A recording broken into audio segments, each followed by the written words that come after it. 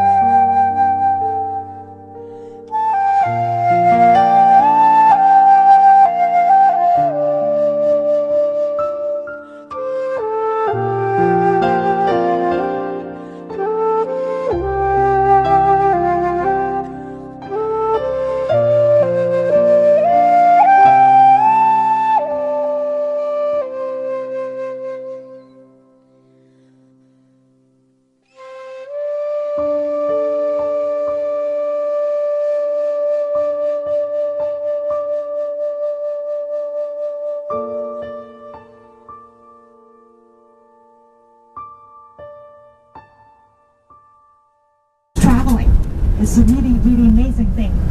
Um, and all my friends and my age, um, they do not have many opportunities like me, like me, to know so many people from different cultures, honestly. They, they travel a little bit, but most of the time they stay with the Chinese group. They do not really understand uh, you that much. But for a long time, our government tried to use different way, make we feel you are kind of so different than us. make me feel, make us feel afraid of you. The foreigner, Westerner, Caucasians. And we have been isolated from the rest of the world very long time. Um, so when we suddenly open a door, when the tourists you come here, we're we still keep distance, right? We will be polite. We'll be really try to show our hospitality, but we always keep distance because we do not know you. And I always tell my family, my friends, after 10 years being lived together with you, I spent like more time, 24 hours, 12 days. So I know you much better than all those people only know you for a couple of hours. And I always tell them, don't be afraid of them. They're just like us. Different color of hairs, um, different color of skins, um, maybe bigger nose than ours. so you can afford your sunglasses better than us. but honestly, we may not speak the same language from different area, but we're just deeply inside. We're all human beings. With no difference. We just want the food, the meal on the table for the family, comfortable life for the family, the kids have a better education, better future. That's it. Right? So this is really, that's why I so much appreciate my job. And otherwise, as a Chinese girl, uh, before college, I never really go outside Beijing. I have no idea what's the difference of other cities even. But now, from you are the people who help me out. There's a Chinese old saying, I used to be a little frog within the deep water well. All I can imagine the sky is that small, as big as the size of the water well. But you are the one drag me out from this well. Let me see how big the sky can be. So sincerely, I really feel honored to be your guide and really know you, all my new cousins. so thank you for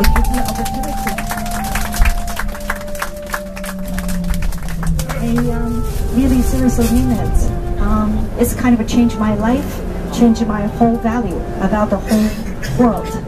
So hope you feel the same thing after you've been here 12 days. Um, yeah, we're no difference. Well, now it's coming to a little bit the sad part. I hate this part.